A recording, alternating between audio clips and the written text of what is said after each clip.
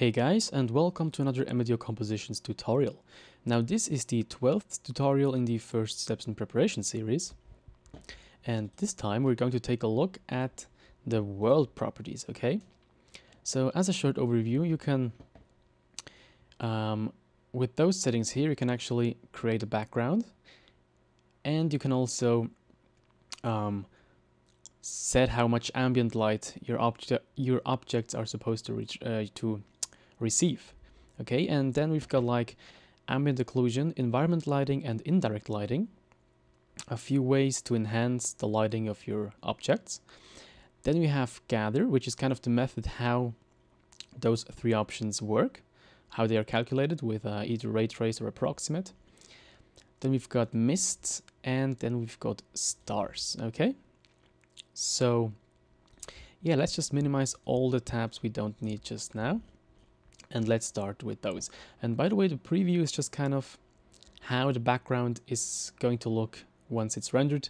It's just approximately true. It's not you cannot really take it one to one, but yeah, more about that in just a second. Okay, so if we render this right now, you can see it's just a plain cube, and that's perfect. Now, you can see here horizon color, zenith color, and ambient color, okay? And horizon color and zenith color, they actually influence the way your background appears, okay? So if you change the horizon color to, let's say, something brighter, something like there, and let's make it slightly bluish because it's the horizon. Actually, let's make it completely white and slightly bluish like this. You can see the background is now um, blue. Perfect. Now, in order to create an actual horizon, we need to do a few other, other things, okay? And the second thing is zenith color. Now, if we change that to, say, something yellowish like, like the sun, you can see um, it doesn't really change anything, okay? And that's because of those buttons up here. So you have paper sky, which kind of um, flattens all the texture coordinates so they, they actually fit um, into the rendered um, area, okay? We'll take a look at that in just a second. And then we've got blend sky. And if you check blend sky, then actually creates kind of a gradient effect from the borders of your camera to the center. So if I just do that, you can see if I render this now, you get this gradient. And this gradient can be used just as a background image, or it can also be used to simulate that gradient effect that get that you get in the sky when you have like a sun up high and then yeah uh, the sky closer to the sun is like brighter than the sky further away. Uh, that doesn't really sound physically correct, but I'm sure you know what I mean.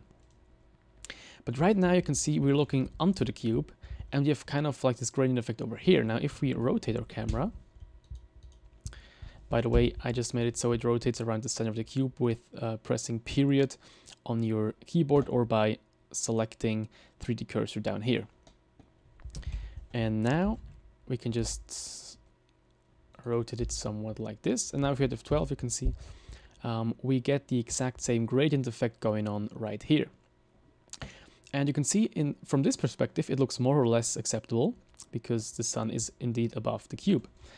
Now, um, but as you can see, this doesn't really work for all cases, okay? So what you need to do to get actually a realistic sky is, who would have thought you need to check real sky?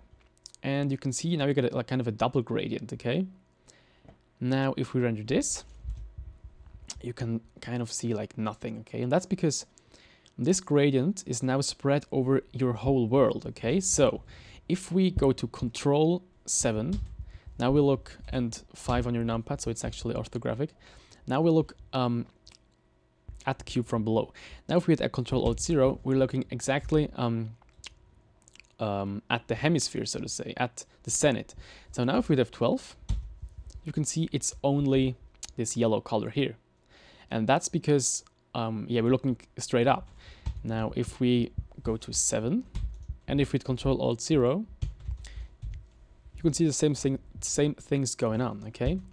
And now to illustrate that, let's just um, add a sphere and scale that up, and let's go to wire. Okay, now you can imagine it like this. Um, this part is completely yellow, this part completely yellow as well, and this like the equator or whatever that's called in English is like completely blue. And then here you got like this gradient effect going on, and dependent on where you face with your camera, um, a different part of that um, background is rendered, and that's what the real sky is. Now, um, it also considers angles. So, for example, if we just delete this sphere again because or let's just move the sphere to a second to the second layer so it's out of our way. Now if we go like from this angle, Control Alt 0, and let's just with G and middle mouse you just scroll out a little like this. If we have 12 you can see it starts to be a little bit yellowish down here, but up here it's completely blue because this face is pretty just just about pretty much the equator. So um, yeah. Now if you don't want if you um, want your uh, if you want Blender to consider the angle of the camera, um, so whether it's like this or like this, this kind of rotation, but you don't want it to consider um, whether it faces a point on the lower end of this uh, so-called uh, thought sphere or on the upper end, then just hit paper sky, okay? And now you can see you got the gradient I'm going from 100% yellow to 100% blue to 100% yellow, all within the camera range, okay? But if you rotate it, you can see it considers um, the angle, okay? Um, yeah, so that's how you can set up a very easy and fast background with only those few options there. So, uh, and now if you have like, I don't know, a sunset scene, you make it slightly more reddish and the blue maybe maybe slightly darker or actually just slightly bluer. You don't really want it to be dark. And now if you have 12 you can see that's what you get. Now of course this is not a very realistic sky because you have no kind of no clouds. You don't have a real sun and stuff. But it's good as a beginning if you just want to kind of test render like this cube and you don't want it to be um, completely uh, gray or completely pitch black background now the next thing is, as you can see, is ambient color. Now if you change that to, let's say, completely red, so you can see it well, the cube appears red, although it isn't. And that's just like um, an overall color correction you can do with um, ambient color. It's kind of like an ambient light that is cast over everything, okay?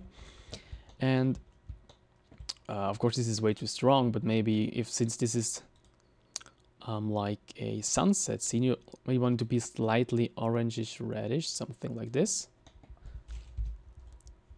And you can see it kind of starts to fit the background, although it's way too overblown. Now let's just um, make it way darker to something around there maybe. See what that does. Okay, that's much better. And what you can also notice, even the, the black areas are no longer really black. And that's kind of important because, um, yeah, it can mess up your scene uh, big time.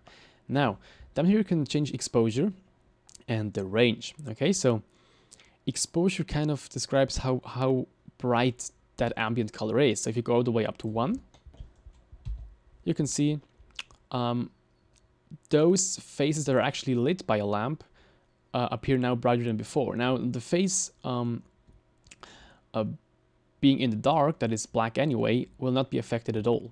Okay, and the other thing you can do is this range, and that kind of decides the color range that is mapped to from zero to one. Okay, and that just kind of means um, right now, um, if there's like, like no light effect in it, you, you have 0, and if it's like 100% affected, you get 1. If you change that to 5, then it's still like 0 corresponds with 0, but 1 is then 5. And that way you can just add, uh, make the color more, more um, apparent in a way. So if you, once again, if you go, if we go back to red, okay, and if you change that to 1, and the exposure to 0, you can see that's what you get. Um, now it's kind of like the natural lighting of your lamp, okay? So no additional lighting. Now if you change it to 1, you can see it appears much brighter. Uh, at least those faces are actually lit by, this, by the lamp. And if you change the range up to 5, you can see um, it appears darker, although it's not really darker, but just the color is more apparent. It's got a stronger effect. And you can see it looks once again like this. And those are just a few um, settings to play with. And then one other thing um, that's quite important as well is that right now we've got like this very boring sky, okay? It works as like a preview render, but it's not really great. Now you can also work with textures or with uh, images, I should say. Okay, now um, in order to do that, let's just actually go to one. Let's just reposition our camera a little bit like this.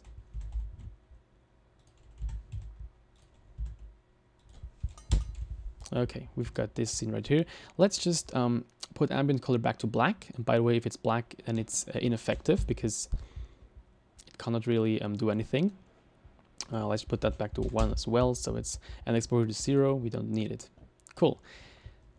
Now, um, let's go to the texture properties. Now, we did not yet cover the texture properties, so more on those in a future tutorial. But for now, let's just go there and let's just make sure that this blue ball, which is which stands for world, is checked. And this way you can actually change the textures that affect your um, your environment, your background. Okay, if you have like the cube selected, okay, then if you're here, you can see there's also this option here for material textures. Okay, we do not want to uh, work on material textures, but we want to work on environment textures or world textures. Okay, and then if we let's just add a new texture and it's called clouds. It's like a standard texture. Let's not worry about the settings. You can see it's kind of pink, but that's okay. And now if we render this, you can see we get this kind of effect. Um, and if we just set that to be plain white, you can see um, now you, you kind of got, get got you know kind of have those those clouds and stuff going on, and it's just looks just pretty cool. And yeah, and as you can see, um, that pink color isn't really uh, considered at all.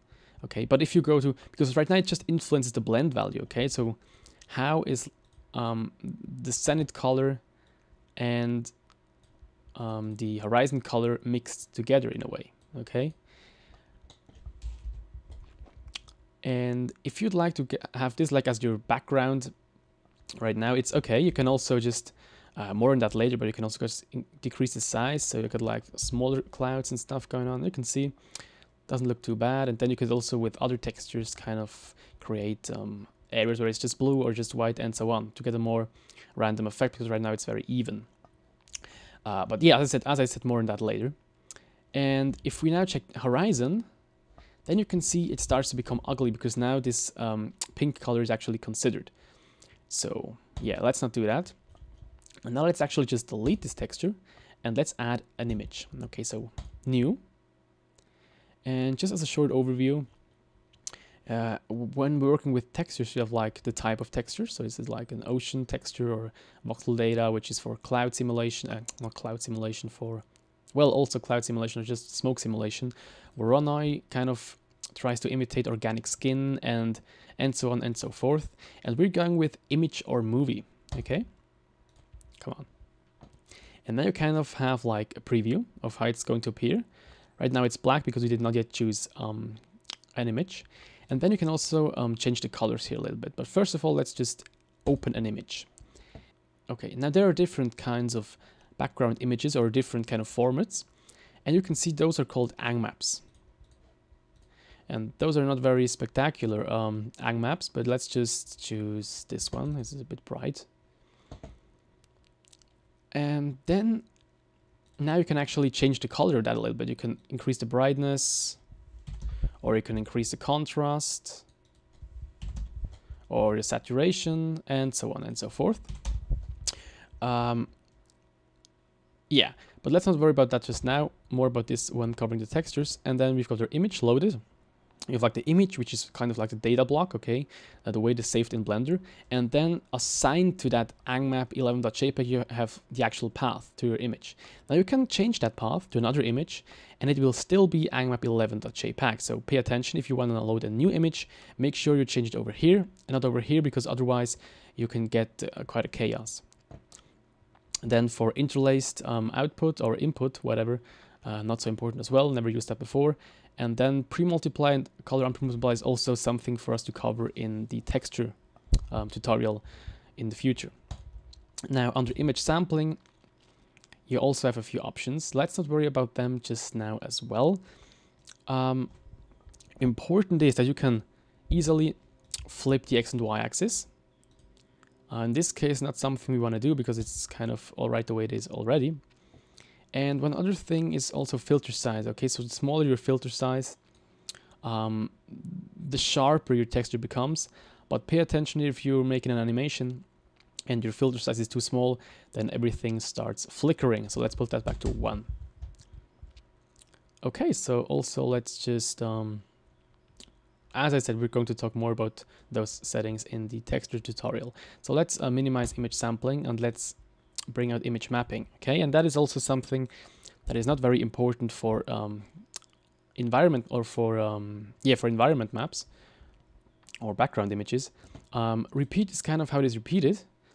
Um, is it just extended, so is it just stretched, so it actually fills the area specified, or is it clipped or repeated or whatever? Uh, more on that in the texture tutorial as well. And this is just how, kind of how many times it is repeated. We want to leave it at one, of course, because we don't want the environment to repeat itself. Um, let's not worry about those as well. And then we have like mapping. And right now it is set to view. Okay, so I'm going to show you what that means in a second as well. Um, and then we have like the influence. So right now, as it, it this one as well just influenced the blend color. Okay, so if we go to F12, you get this kind of effect. And um, it's kind of cool because it already considers like the camera angle and stuff because we already have real sky and blend sky checked or just real sky blend skies for the blending thing. Now if we uncheck real sky, then you can see we get this kind of projection and it is once again unimportant. Your camera angle doesn't count anything at all. It's just uh, yeah it just look like looks like this. Now if we uncheck blend sky you can see everything is just blue and nothing's shown at all. And that is because right now our our um, background image does not actually influence the color of the horizon. It just influences the blend values okay? So if you have blend sky, then you've got like this uh, this, this skin color like thing and blue.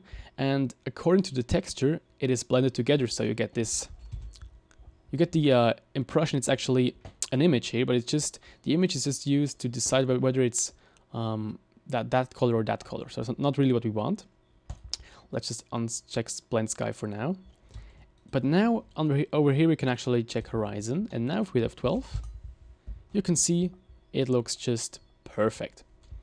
Um, but one thing to note is that now everything is kind of projected onto uh, the, into in, on this area. So even if we, as I said before, if we rotate the camera, the same image is going to be displayed over and over again.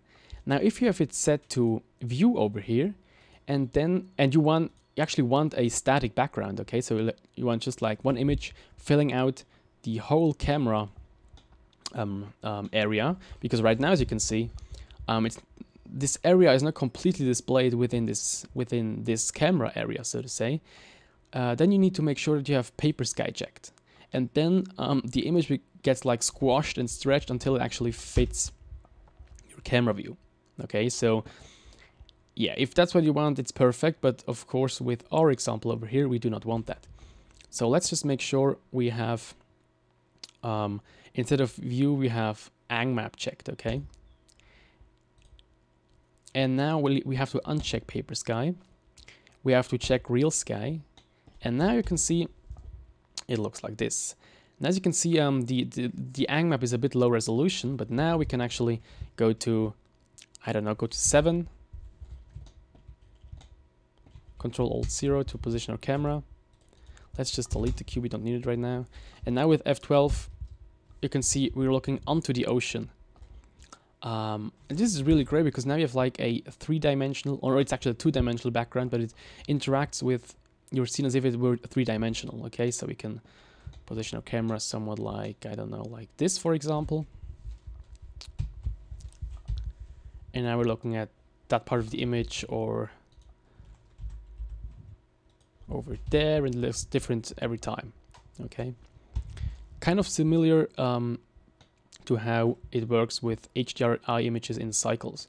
Pretty cool, of course, the quality of those Ang maps is not quite as high, And it's got a few other issues, but more on those um, in a later tutorial. Now, um, we've got that set up all right. Uh, one other thing that's quite important is those options here. Now, if you want to have like a, background that in, kind of interacts with your scene, then you want to choose either equirectangular or angmap, okay? So in this case, um, it's an angular map, but there are other um, types of maps. So if we just go to um, over here and then we go to, I think. Let me just see. Yeah, here we got one. Now this is a different image. As you can see, let me just open it in um, in here just a second.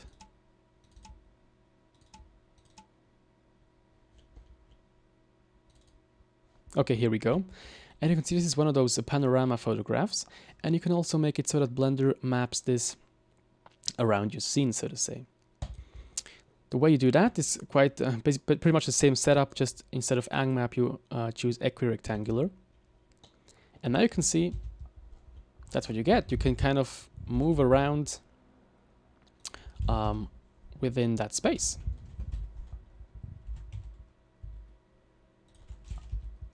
And so on and so forth. Um, yeah, one other thing to notice that if you want to actually use this as a background image, you can see you need very high resolution images to actually work. Now the image right now that I'm using has 3000 by 1500 pixels, which is actually quite big, but it's far by far not enough. Um, and that's kind of that's kind of the problem here. Now if we go, uh, I'm just just gonna show you or tell you how big the resolution of the other image was. Um, just a second here. It was 5000 by 5000 pixels, okay? And it was still quite quite low resolution. Now, as you can see, it is quite quite tough to find appropriate images unless you have like the equipment to make them yourself. Now, I don't, and yeah, that's kind of a problem sometimes. But if you want to use them just to generate reflections, okay, for that they are perfect. They're absolutely perfect. Okay, now um, is there something else to cover over here? Well, there's one thing. Um, right now you can see this um, um, sort of this this image kind of influences the horizon and the blend. Okay, so if we go back to uh, the world settings and we check blend, um, and we set this like a darkish red, so it's really strong. Then you can see if we render this just now, you can see um, the red doesn't affect everything the same, okay? That's just because um, the whether it's red or not red is affected by this uh, this image. So the whiter this image, the brighter, the more affection. And you can see here where those outblown um, images are, are overblown or just very bright. There it's very red and the rest is less affected. Now that, that, that's certainly not what you want. So if this is like a sky texture and you want to uncheck blend, so it actually affects everything in an even way, okay, like this. Um, or what you can also do, um, you can get a separate texture that just influences your zenith um, up and down, or just the upper zenith and the, the, the lower zenith. If you check those two, you can see nothing will happen because right now uh, the zenith is at the exact same point as before, but as a color, the zenith uses this texture, and because it's the same as the um, horizon, you don't see a difference, okay? But we could, for example, um, uncheck horizon, okay, and uncheck blend, or let's let's check blend for now. Now if you have 12, you can see you get this kind of effect. Um, and if we also uncheck blend, let's just see, you get this kind of effect, okay? So you can see this blending value, and the color of the blend is now, instead of red as before, it's now the color of your um, image, and therefore it looks very weird. Um, anyway, let's just set that back to the way it was before. Uh, something like this. Okay. Now, um, yeah, one thing to note, and that's a bit of a problem, the ambient color cannot be affected by your texture, okay? So even if you have like this perfect texture and everything going on, even if you now check ambient, um, if you change the ambient color, it will still just be red or blue or green or whatever you set here. So it doesn't really fit. Um, it doesn't really fit your your scene, so to say. Okay, so um, thank you for watching. I hope you've learned something. Um, in the next tutorial, we're going to talk about ambient occlusion, indirect lighting, and environment lighting. Or I'm actually not quite in that order, but anyway. Um, yeah, hope you enjoyed it. Thank you for watching and see you next time.